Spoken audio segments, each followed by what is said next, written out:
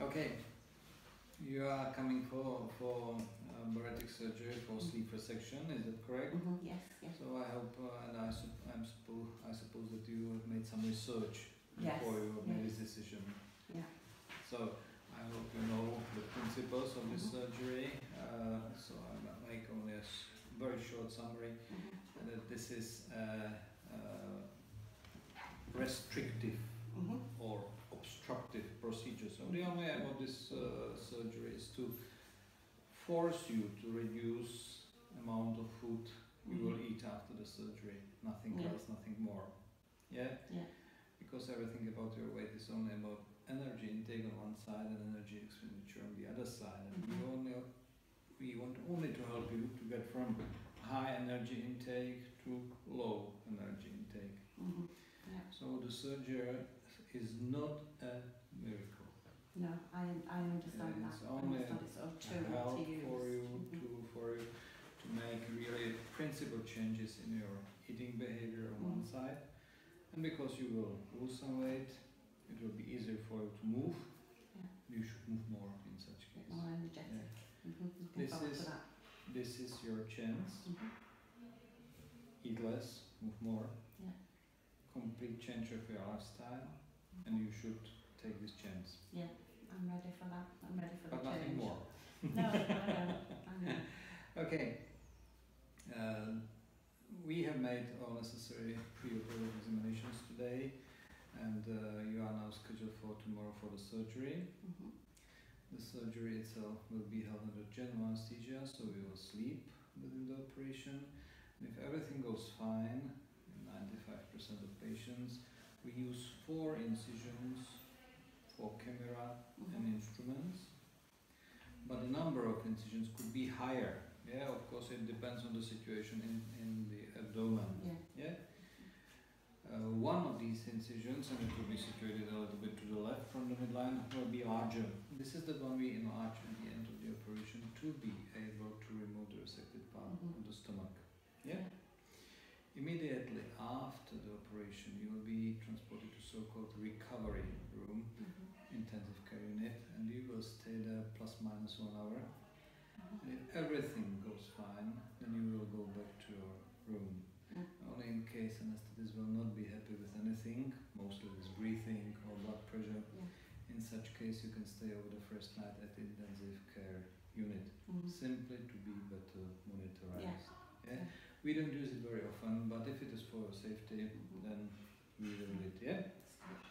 Anyway, within the first night, you will not get anything to drink. Mhm. This is because after the operation, the stomach is not only cut, but also swollen. And you can feel sick. And if Mhm. you will try to drink, you can vomit. And this is something what we don't want to. So please do not drink anything. You can wash your mouth, yeah, or use some refresher, but please do not swallow anything. Yeah, you will have infusions to be hydrated. Yes. Yeah. In these infusions, you will automatically get anti-sickness medication, some painkillers, other painkillers you will get as an injection, Mhm. Yeah. Sounds good. Sounds good. and in 99% of the patients, it is completely satisfactory. Mhm. Yeah, but if you, despite all this medication, will feel sick, Mhm. please ring the nurses. They know very well what to do. They even can add you a little bit more medication, of Mhm. course, to some level. Yeah. Yeah. Yeah. If you will be okay next morning, Mhm. then we will allow you to start to drink. But speaking about drinking, we mean a really very special regime, Mhm. and it is always tiny sip, three minutes pause, tiny sip, three minutes pause, and Mhm. again, again, again. This is again because of the swelling of the stomach. Sometimes the passage through the Mhm. stomach is pretty slow, and it really takes some three, four minutes to pass through the sleeve part of the down part of the stomach, and then leave the stomach completely. And we want you to get every swallow time to pass through the stomach and leave the stomach before you take another one.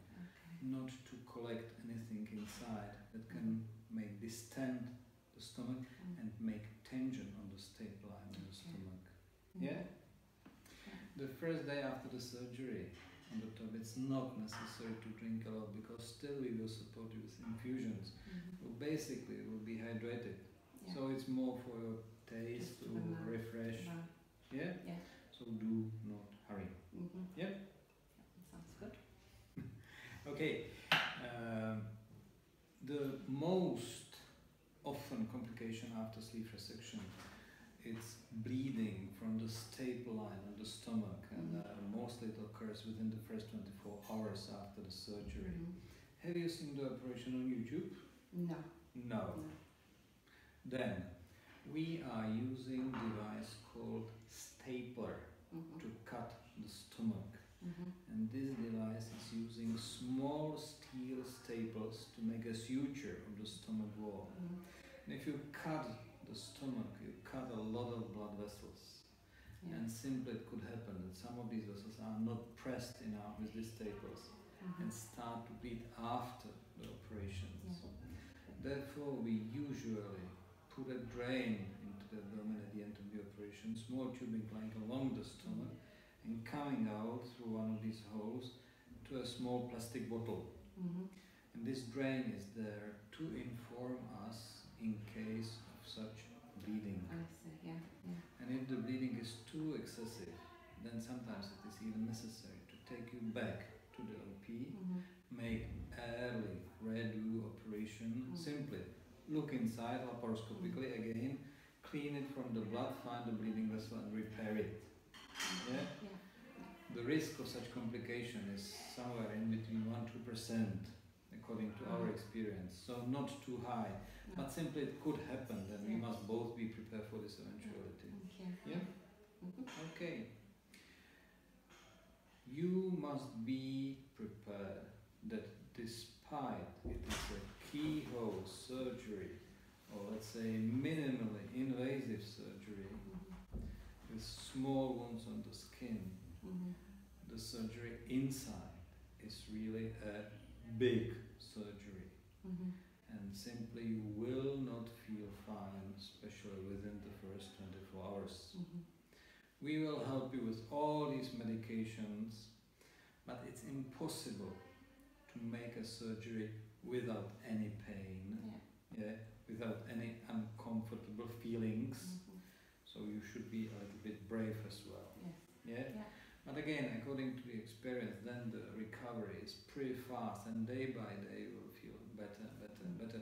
So let's say the worst uh, period is the afternoon and the first night after the surgery. Yeah. Okay. Uh, there are some recommendations concerning post-operative diet regime and post-operative physical activity and so on and so on, so on, but we will discuss it after the operation. Yeah? Absolutely. Okay. Thank you. So everything is clear? Any questions? Um, no, no. I think I'm. Um, I'm very excited. I'm looking forward to it now. Oh, really? okay. Well, I'm looking forward to the results, not so much the surgery.